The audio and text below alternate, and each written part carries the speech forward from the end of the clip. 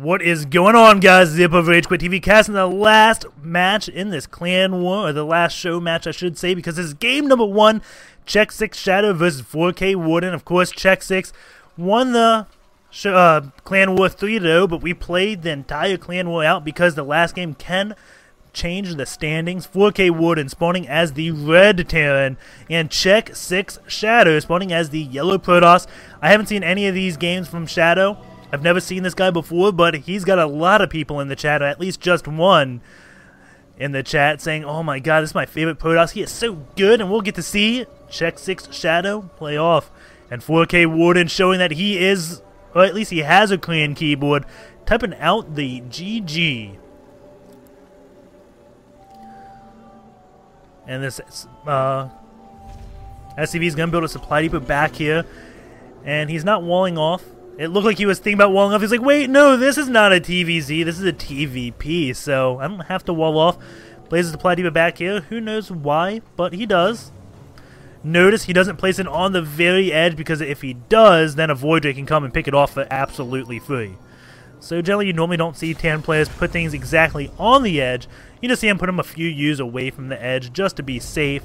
Barracks is going down at 12. We'll see if he gets a gas at 13 or he goes for a gasless expansion. And we'll see what Check 6 Shadow does. He's at 13 supply now, so he should be getting his gas soon as he has the money. Right now. There he goes, gets that gas. And of course, Warden gets his gas as well, as well so it is going to be a pretty standard game. We do have the probe going out to scout that looks like after the pylon. And the SCV goes to scouts right around 15 supply. There's really nothing else. He's like, oh, I'm at 15 supply. I should go scout.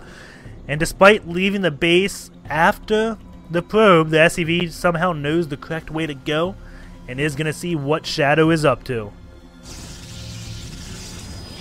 We'll see the Cybernetic Squad coming down, see the gateway, and start looking at this Chrono Boost energy. Going to be like, well, you didn't Chrono Boost once on your Nexus when you could have. You had 50 energy, you should not be at 50.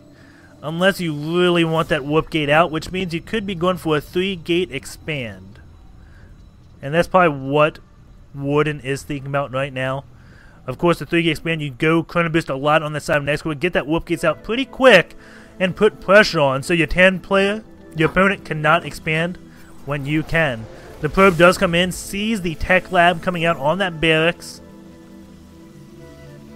and he will know Marauders are coming. And there goes the double Chrono 1 the 7 next 1 on the gateway getting that Stalker out as soon as possible. Is he going to get more gateways? There goes two gateways, so he is at three gates. And now the SCV is going to be coming in to build that command center at 22 supplies. So this is a pretty risky open, I would say. Kind of a juke, because generally when the opponent sees a tech lab on the barracks and you building a Marauder, you, you're going to go in the aggression. You're not going to be expanding behind this. So Warden doing a less optimized build in hopes his opponent reacts the wrong way. But keep in mind, he is doing that 3-gate expand, and uh, I believe this is going to be the right way to react about uh, what Warden is doing. He's going to be able to get a sentry count high end. Oh, no, he's only on one gas still. Oh, man.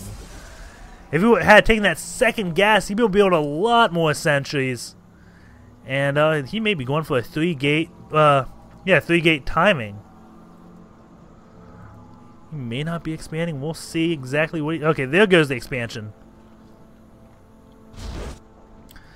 And I'm really curious what uh Shadow is going to be doing since he hasn't taken that gas yet.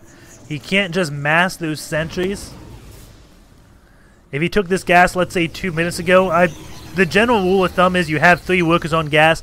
It's a little bit less, uh, more than 100 gas per minute, I believe. I think each gas is like 103, 102 per minute. Let's see. Let's go to this income station.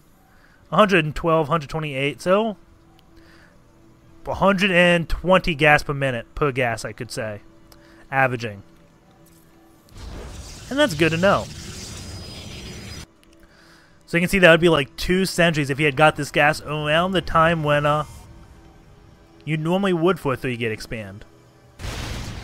The one probe does come in, gets a scout, sees the bunkers up, and uh, He's like, man, if I want to engage this, I need sentries. I don't have them, so I'm just going to come back and macro up. There goes that second gas. And another bunker. You can see that Warden still just on one gas of his own.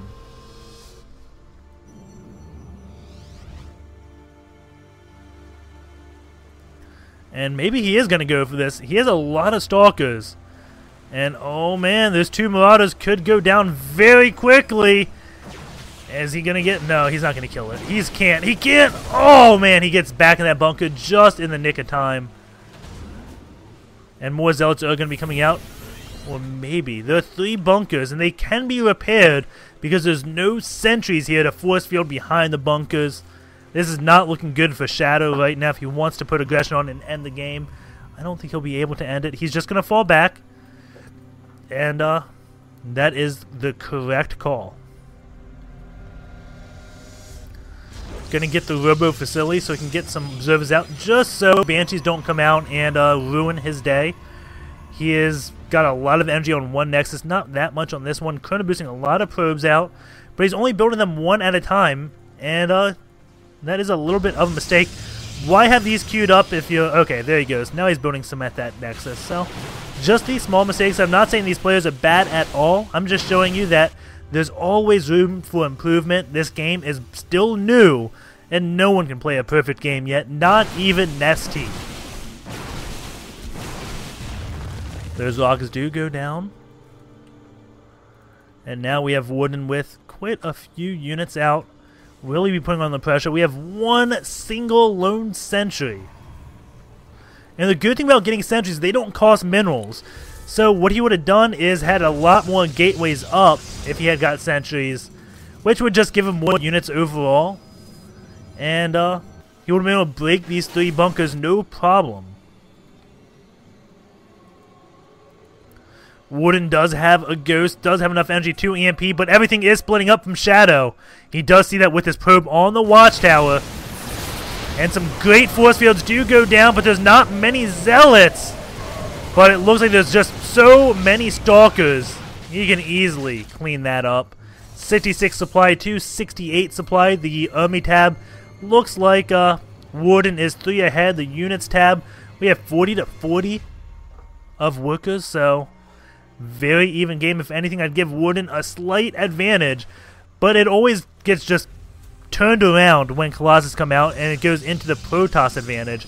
We have another Observer coming out. He already has one. This will be the second one. That Robo Bay is coming out, so he is going for Colossus. We do have plus one one coming out from from Shadow. meanwhile, he is getting more gateways.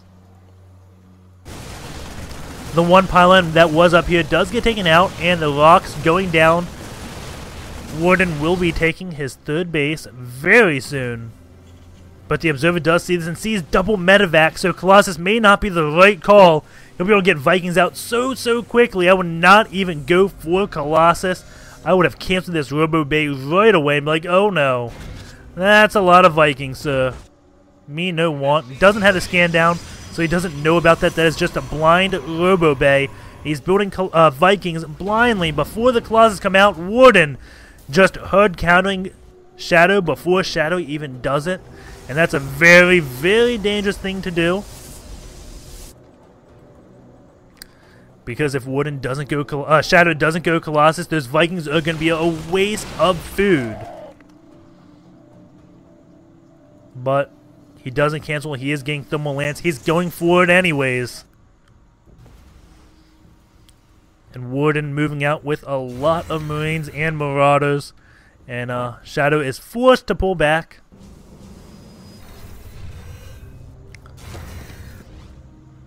If I was Shadow, I'd probably switch into Chargelot Archon, canceling that Robo Bay. After I saw all of those Vikings coming out, that just spells disaster for any Colossus. And you can see Shadow trying to position his army. He just cannot. And uh, this one probe still holds the watchtower. And one pylon is going to get taken out. That does not supply cap Shadow. The gas now uh, doesn't get taken out. Scan does go down sees the army, and does he see the Colossus? No, he doesn't. Colossus just outside of range.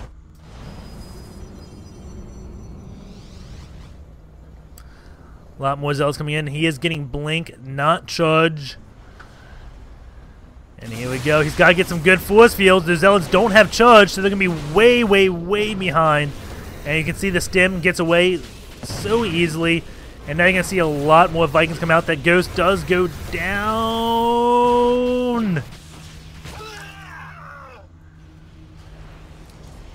But with these double starports, he is building three Vikings at once. And that is a lot of Vikings. He still hasn't taken his third base, though. I thought after he was taking out those rocks, he would be taking his third base. But uh, Shadow, way ahead of him on that level, has already got his third base. And now he is not building any Colossus. He is going for that Templar Archives to get some Templars out. Maybe go for Storm and more and more gateways. And I like what Shadow's doing. He is just getting a few Colossus, just two Colossus, saying, well, you have to build Vikings. And he is really hoping that Warden just builds too many Vikings. But it doesn't look like he's doing that. The Viking production has slowed down ever so slightly, switching back into Medivac and Vikings. So he doesn't have like 200 Vikings versus two Colossus, because that would just end poorly. Observer is going to see this one factory burn to the ground, and we have an engagement just now coming in. Going into this army tab, you can see 114 supply for the Terran player, 86 for Shadow. So the player should be able to take this easy peasy, but you got to keep in mind that's a lot of Marines. And those two Colossus could do a lot of damage before they go down. Those Templars do not have Storm. But keep in mind that uh, Warden does not know that. He gets the feedback off on the Ghost. Some nice force fields go down, but those Zealots getting trapped behind. Now they're finally making the way. That Archon gets pushed to the front of the line. And now those Colossus come to show themselves and get taken out not too quickly. It looks like Shadow pulling this one. I don't even know how he won that, to be honest. But yeah, Shadow defending this so well. Doesn't even lose a single Colossus. We do have the third base now coming up for the Warden. But man, did that fight go poorly for him. You can see the army supply completely tilted. And uh, that's what I was talking about. When the Colossus come out, it is so good. Just look how cost efficient Shadow is being. 8,300 minerals and gas lost for the Terran player. 3,700 lost for Shadow. Going to the upgrade 0 0 versus uh, 2 2. So that is most likely the deciding factor. Shadow getting all those upgrades. You can just see those upgrades coming in and just how much they help. And of course, the feedback just put icing on the cake, stopping the ghost from the EMP. And now Shadow is starting to move. Uh, he's trying to think what he wants to do. Gonna send a few zealots at first to lead the way. He wants to get any uh, scouting he can, and well, he has observers, so he should know what the army is. Maybe he's trying to pull the whole army out of position with these three zealots so he can go in through the front door. And this army is getting pulled out of position. Is he gonna come in? Is he gonna?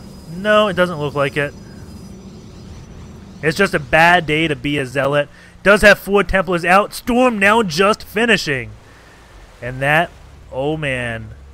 As long as he can get the storms off and doesn't get feedback, uh, uh, EMP'd, he's gonna do just fine. A big storm goes off. You can see a lot of units go in the red already. Those medevacs have a lot of healing to do.